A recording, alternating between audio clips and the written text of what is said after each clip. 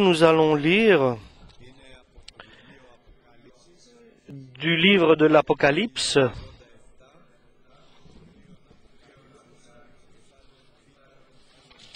chapitre 2, le livre Apocalypse de Jean, chapitre 2, verset 1, avec la grâce de Dieu. Écrit à l'ange de l'église d'Éphèse. Voici ce que dit celui qui tient les sept étoiles dans sa main droite, celui qui marche au milieu des sept chandeliers d'or. Je connais tes œuvres, ton travail et ta persévérance. Je sais que tu ne peux pas supporter les méchants, que tu as éprouvé ceux qui se disent apôtres et, qui ne le sont pas, et que tu les as trouvés menteurs, que tu les as et que tu as de la persévérance, que tu as souffert à cause de mon nom, et que tu n'es pas lassé. Mais ce que j'ai contre toi, c'est que tu as abandonné ton premier amour. Souviens-toi donc d'où tu es tombé. Repens-toi et pratique tes premières œuvres. Sinon je viendrai à toi et j'ôterai ton chandelier de ta place, de sa place, à moins que tu te ne reprennes, que tu repentes. Tu as pourtant ceci, ce que tu es, les œuvres de, des Nicolaïtes, œuvres que j'ai aussi. En 54, donc, l'apôtre Paul est arrivé à Éphèse. En 96, euh, Dieu, Jésus lui envoie un message, donc il lui envoie un message à l'église d'Éphèse. C'est un message, un bon message, agréable, une bonne nouvelle, et Éphèse doit faire attention pour qu'il ne soit pas déplacé, pour que sa lampe ne soit pas déplacée, donc l'ange ne soit pas déplacé d'Éphèse. Et il y a de très bonnes caractéristiques cette Église a de bonnes œuvres, et sa foi est vivante, et il a beaucoup d'efforts, donc il fait beaucoup d'efforts, et s'il continue, il va arriver richement avec euh, beaucoup de bénéfices dans le royaume de Dieu. Et il, il passe des épreuves aussi difficiles, et il est trouvé bon après les épreuves qu'ils ont passées. Il y a certains frères qui sont là et qui font les frères, mais ils ne sont pas. Et dans l'œuvre du Christ, il a souffert, mais il n'a pas abandonné. Ça, c'est la vie chrétienne. Donc il faut des œuvres de foi, il faut de la patience, il faut de l'effort, il faut souffrir, il faut se, se savoir aider les uns les autres se supporter les uns les autres, mais, mais il y a quelque chose qui est très dangereux. L'ange de l'église d'Éphèse, pour eux, il y a un danger. Ton amour que tu avais au début, tu l'as abandonné. Ton amour que tu avais pour le Christ s'est diminué. Et tu avais pourtant une œuvre comme ça, et pourtant ton, ton amour a diminué pour le Christ. Le cœur de l'homme, nous savons qu'il nous trompe. C'est un cœur qui nous trompe que nous avons chacun, et qui peut nous guider de ne pas aimer le Christ comme au début, c'est-à-dire de ne pas accomplir la volonté de Dieu comme au début, mais d'ajouter et de retirer des choses de l'Évangile avec comme résultat et qu'il existe dans l'Église d'Éphèse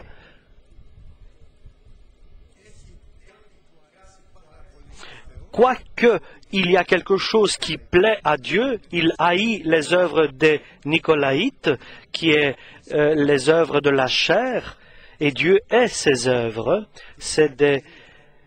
Et il y a aussi la cupidité et l'avarice, et Dieu haït cela. Si moi, j'étais Dieu, c'est une église parfaite, mais Dieu dit que cette Église, elle se trouve dans un grand danger. Il existe, il y a une, euh, difficulté dans cette Église et il est très dangereux. Il est terrible de voir que notre vie se détruise et de voir notre famille se détruire. Et que dans l'Église s'en aillent certains disciples. Et il est terrible aussi de voir l'Église du Christ se détruire, devenir une ruine. Lorsque l'Église du Christ a quelque chose de très important, comme cette Église-ci d'Éphèse, dans laquelle notre Seigneur Jésus-Christ voyait de la patience, de l'effort, du courage, du travail. Et elle souffre aussi, elle haït les œuvres des Nicolaïtes, qui est l'avarice, qui est aussi euh, les œuvres de la chair. Mais il y a quelque chose qui lui manque. Et ce quelque chose qui lui manque, c'est ce qu'aujourd'hui, avec la grâce de Dieu, nous allons examiner. Parce que, en 54, l'église d'Éphèse a été édifié avec gloire, et en, en 96, après 40 ans donc de sa édification, elle se trouve en danger. Entre temps, en 75, il envoie une, lettre par le Saint-Esprit, un épître aux Éphésiens qui a été envoyé en 64 après Jésus-Christ. Donc une lettre qui, encourage euh, l'Église de l'Éphèse et, et, qui l'estime et qui lui donne des bravoures.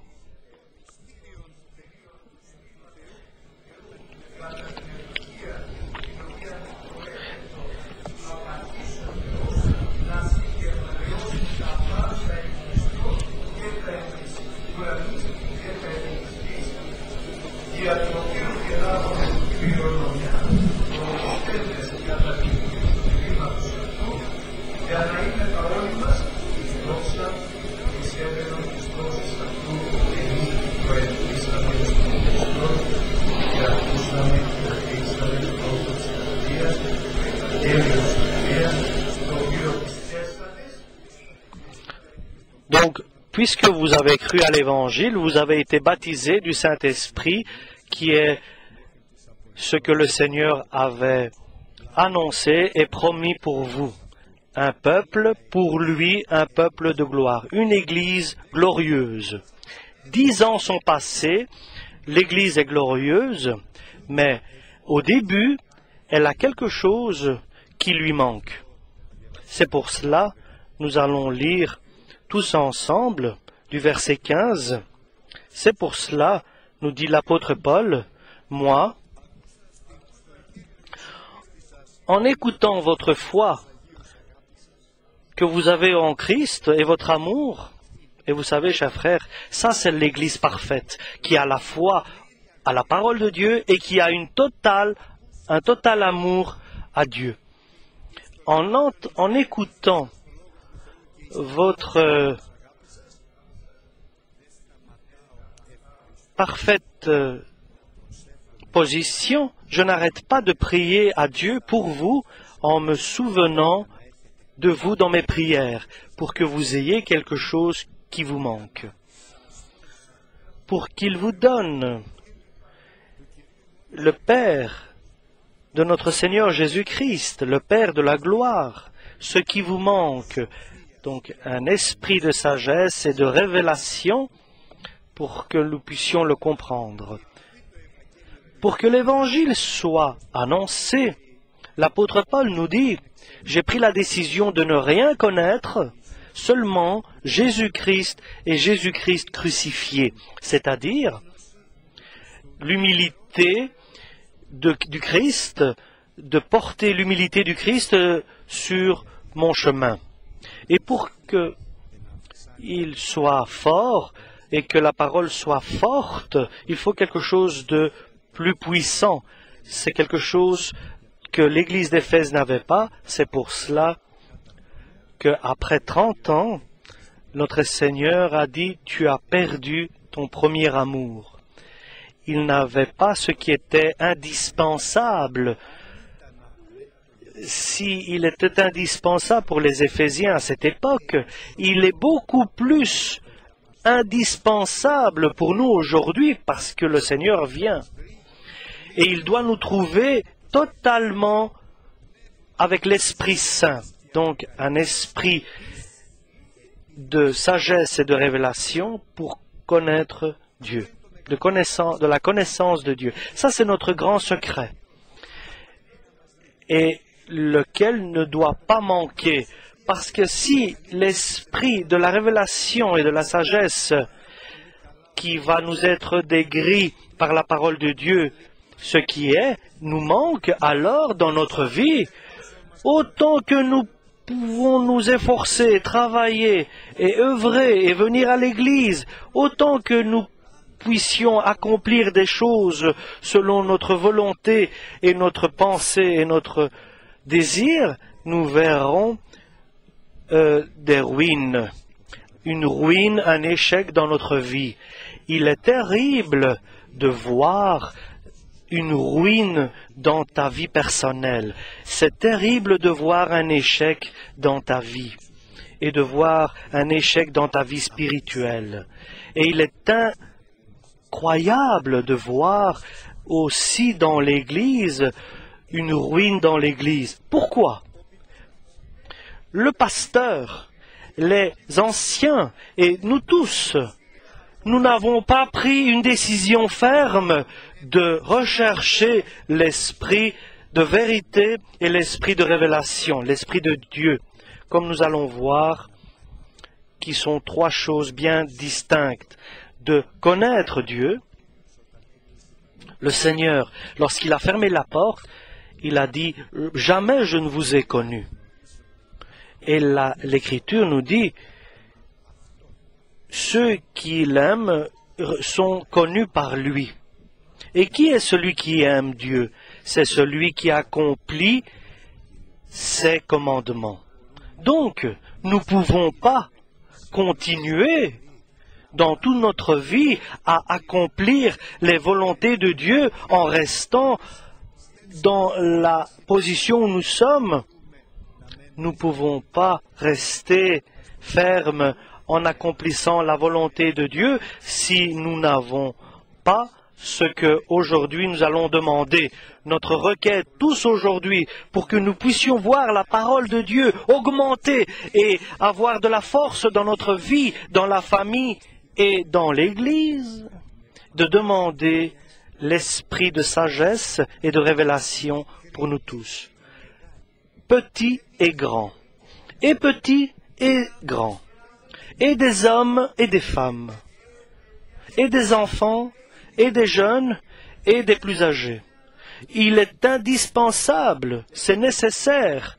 Et regardons maintenant quel est l'esprit de vérité et de révélation. D'abord, pour que soient éclairés les yeux de votre esprit, pour que vous puissiez d'abord connaître cela, mais avec un esprit de révélation,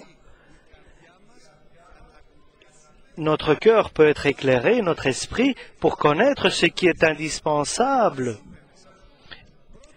et d'accomplir ces choses. D'abord, quelle est l'espérance de notre invitation, de notre appel, de notre Seigneur Nous espérons de faire des miracles Est-ce que nous espérons d'annoncer et de prêcher et de faire des prédications, de belles prédications? L'esprit de révélation et de sagesse nous révèle ce que nous allons lire dans l'épître de l'apôtre Pierre. Béni soit Dieu et Père de notre Seigneur Jésus-Christ, qui nous a donné une vie nouvelle, selon sa grande bonté pour une espérance vivante, pour la résurrection de notre Christ de la mort, c'est-à-dire pour que nous soyons héritiers. Ça, c'est notre espérance. Nous allons être héritiers, quelque chose qui ne périsse pas, qui est gardé dans les cieux, un royaume.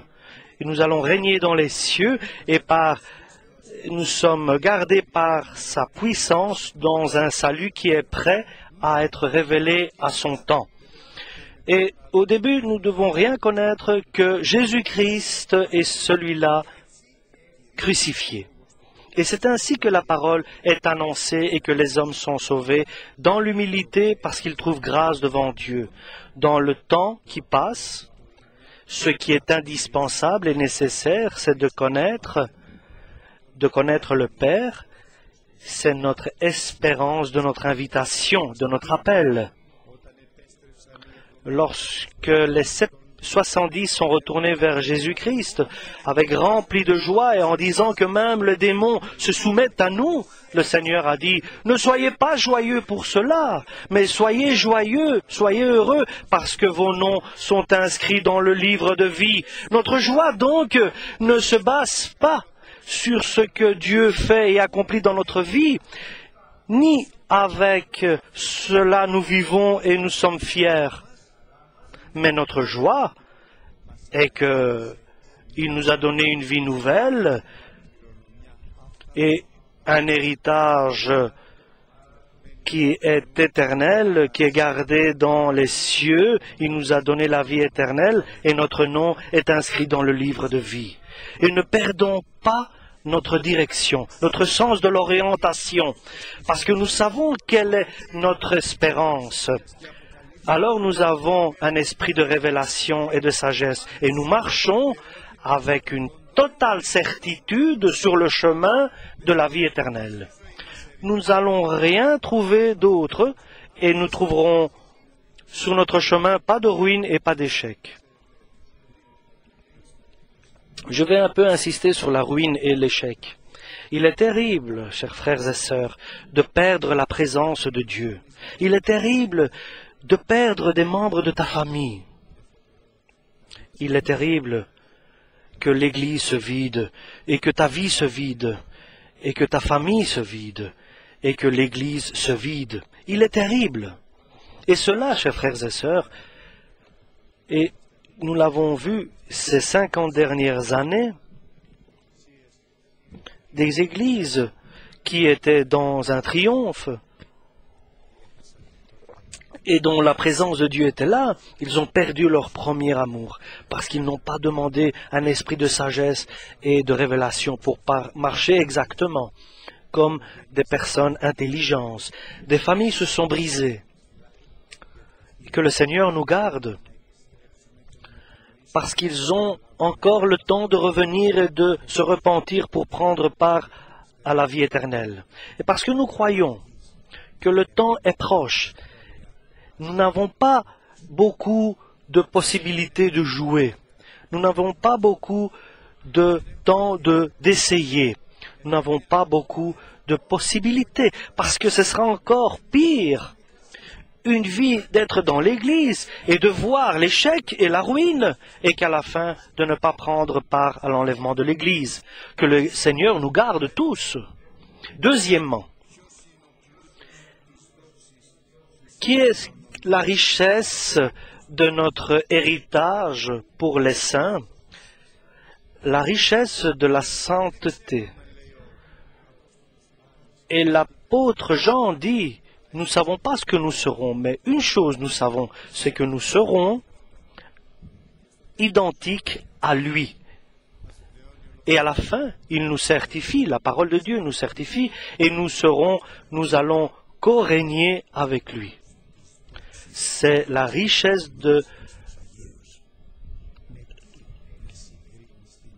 des disciples. Qu'allons-nous comparer avec, euh, que pouvons-nous faire, même si nous gagnons tout le monde et nous abîmons notre âme dans l'enfer, quel est notre avantage? Il y avait Elvis Presley, deux personnes et une autre personne qui était aussi euh, qui avait la foi. les parents d'Elvis Presley étaient, étaient, un pasteur, le père de, mais le monde, le système du monde est entré dans l'Église et dans le Fils et a commencé la ruine, la ruine de la famille, la ruine du royaume de Dieu dans le Fils. Et ils sont arrivés même à prendre des drogues, narcotiques. Et moi, je pense que à la fin de leur vie, ils ont dû se repentir et faire appel à Jésus-Christ avec tout ce qu'ils savaient. Ce sont des exemples terribles. Il y a des milliers d'exemples ainsi. Chers frères bien-aimés, nous avons besoin d'un esprit de sagesse et de révélation pour que nous puissions arriver jusqu'à la fin, sachant quelle est notre espérance, dans laquelle le Seigneur nous a appelés, et quelle est la richesse de la gloire de l'héritage de Dieu. Que va gagner l'homme dans ce monde s'il gagne tout et il perd son âme du paradis de Dieu? Et je souhaite, je souhaite,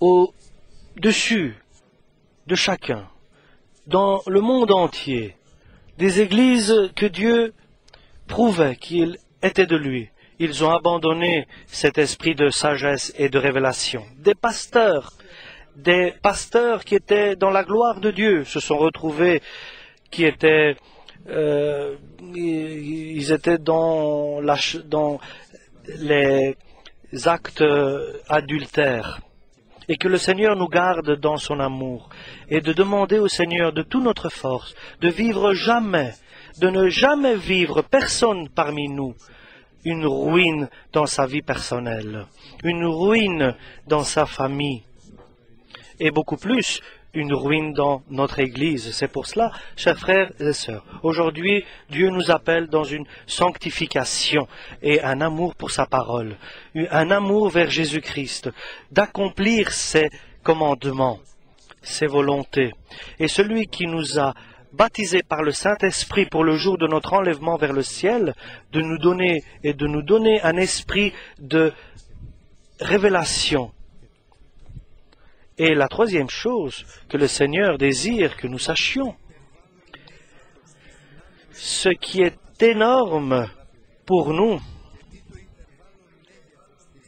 ce qui est grand pour nous qui avons cru, selon ces actes de sa puissance, lesquels Dieu a accomplis par son Fils, et il s'est ressuscité des morts et il s'est assis à la droite du Père. C'est de connaître quelle est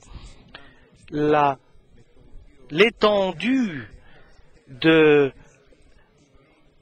la grâce de Dieu qui agit en lui qui agit en nous qui est, qui est la puissance du Saint-Esprit.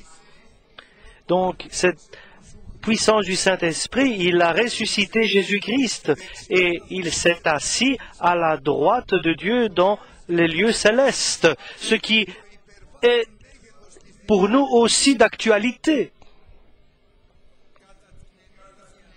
Selon de sa puissance, avec cette puissance, Dieu agit de toute sa force, de toute la force du Saint-Esprit dans notre vie pour que nous puissions entrer richement dans les portes du royaume de Dieu. Comme le Christ est assis sur le trône de son Père, ainsi nous allons aussi nous asseoir sur le trône de Jésus-Christ, glorieux, en euh, chantant et en hymnant à Dieu, en louant Dieu avec une grande puissance, avec sa grande puissance, il nous a, il a établi Jésus-Christ sur tout pouvoir.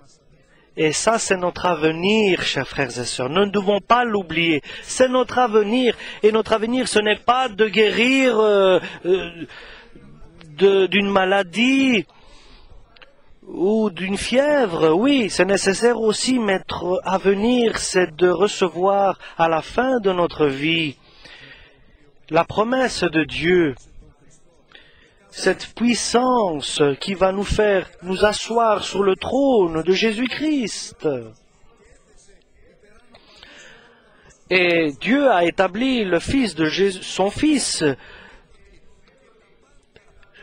a établi Jésus-Christ sur tout pouvoir et il a soumis tout à ses pieds. Et il a établi Jésus-Christ, le chef de l'Église du monde entier. Ça, c'est notre avenir. Ça, c'est la révélation que nous donne l'Esprit de Dieu à ses enfants, à ceux qui ont la foi, pour le lendemain. Ce n'est pas avoir un bon travail. Oui, cela, il va aussi le faire. Ce n'est pas de nous marier. Oui, cela aussi va, il va le faire. Mais ne restons pas à cela. Et encore, chers frères, ce n'est pas à être baptisé par le Saint-Esprit. Oui, le Seigneur va nous aussi nous le donner. Mais l'important, c'est de nous guider et de nous révéler l'esprit de révélation, l'espérance de notre invitation, de notre appel, et la richesse de notre héritage qui est sur dans les cieux. Et combien Dieu agit et il va continuer à agir dans notre vie.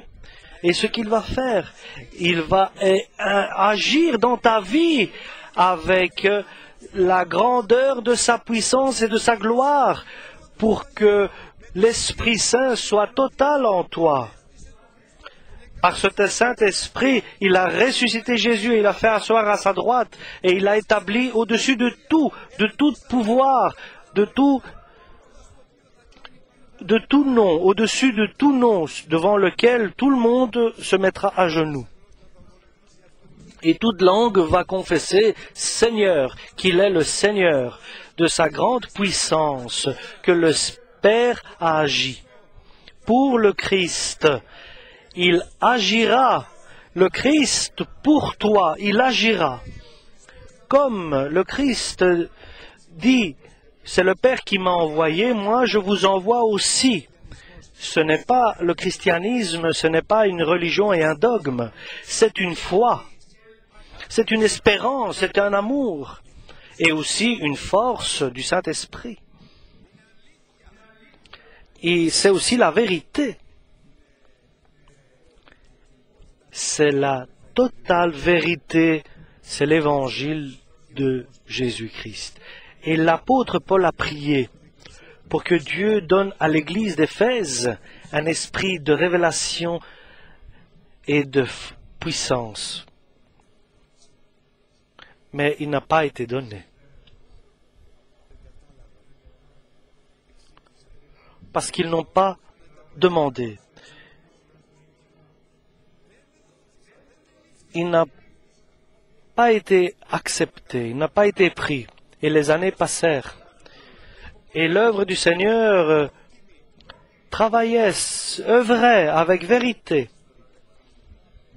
mais sans la grande puissance de Dieu, sans avoir l'esprit de sagesse et de révélation. Et ainsi, Jésus-Christ, avec tristesse, il leur a dit, le, le premier amour que tu avais, tu as abandonné. Regarde et écoute, repens-toi parce que sinon je vais déplacer ta flamme de cet endroit. Et le Père nous demande de nous repentir. Que le Seigneur ne nous dit pas ce qui est d'actualité, c'est que ton amour, ton premier amour, tu as abandonné. Et à moi, oui, cela est d'actualité. J'aimais différemment Jésus lorsque j'ai commencé ma vie spirituelle. Mais de ma force moi-même, je ne peux pas corriger. Et le chandelier qui est dans l'église est totalement en or. Mais ce chandelier se fait pas par euh, notre propre capacité, mais la force du Saint-Esprit, cela peut s'accomplir. Et c'est le Seigneur qui nous informe.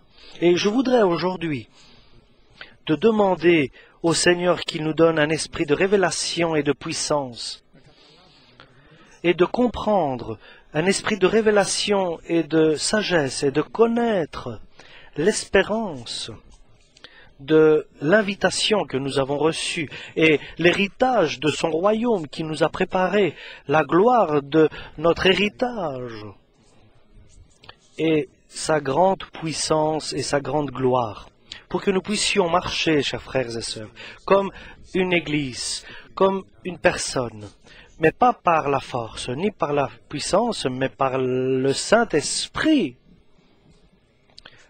Total être complètement par le Saint-Esprit guidé. Et je voudrais, chers frères et sœurs, de savoir que dans l'enlèvement de l'Église, nous ne serons pas si nous n'accomplissons pas ces choses-là.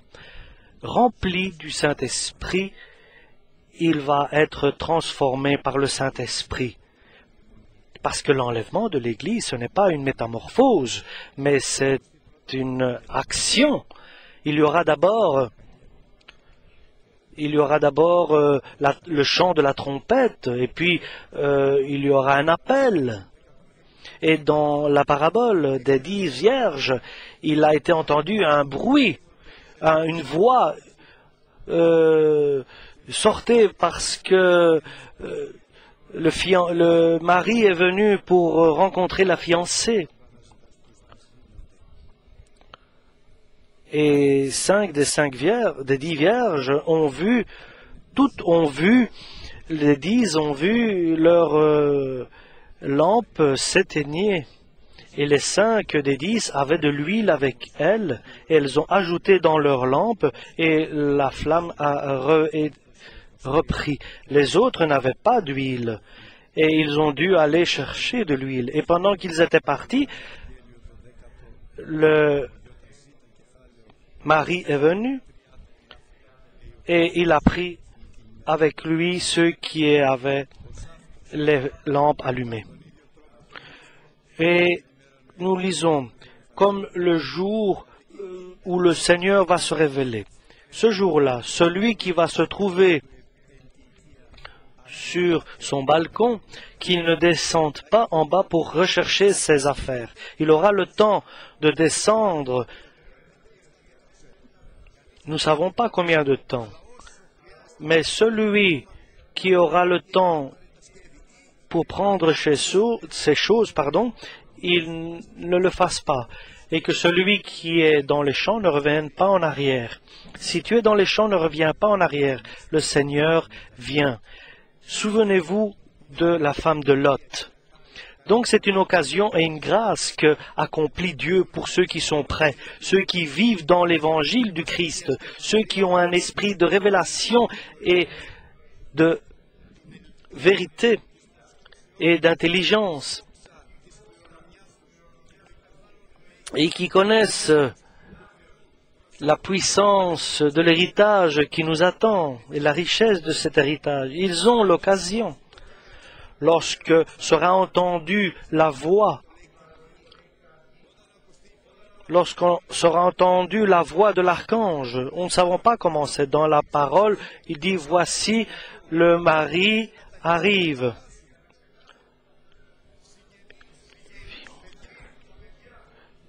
Nous devons tout oublier à cet instant lorsque nous allons entendre cet appel, cette voix. À cet instant, ce sera toi et le Christ. Ce sera le Christ et toi.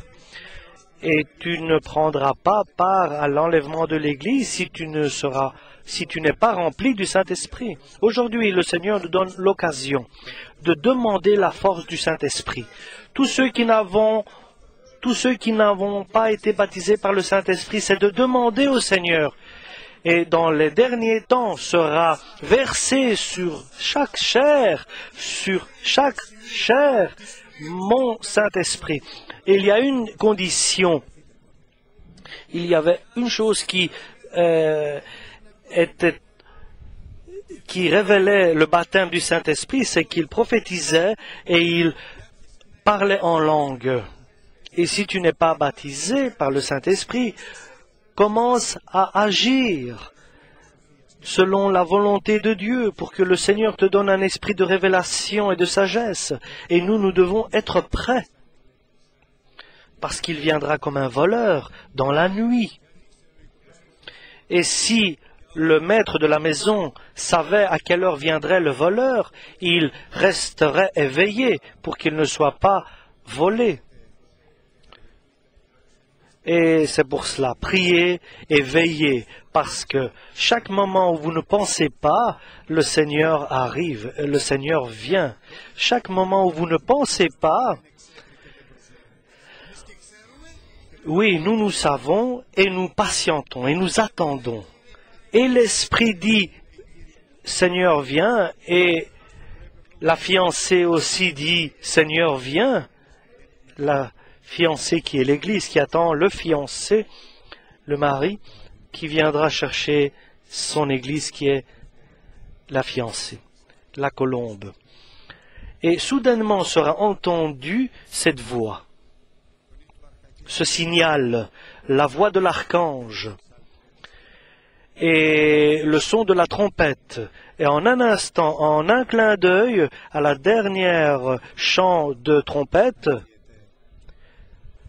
ce corps va se transformer, il va s'habiller de euh, l'éternité.